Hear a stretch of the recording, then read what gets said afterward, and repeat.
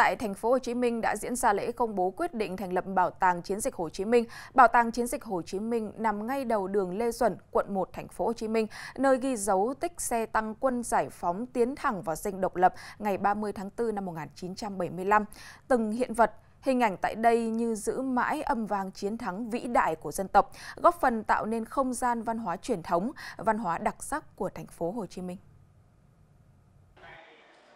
Là một bảo tàng chuyên đề gắn với sự kiện lịch sử của dân tộc nên hiện vật, tư liệu luôn được sưu tầm, bổ sung. Sức sống của bảo tàng là hệ thống hiện vật, hình ảnh, tư liệu quý và hiếm, nhiều loại là độc bản về cuộc tổng tiến công và nổi dậy mùa xuân năm 1975.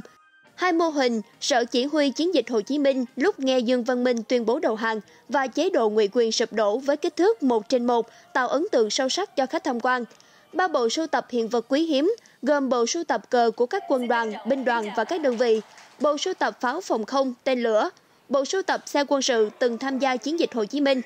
Đặc biệt, bảo tàng là nơi lưu giữ sổ trực ban tác chiến chiến dịch Hồ Chí Minh là hiện vật quý độc nhất vô nhị, được công nhận bảo vật quốc gia.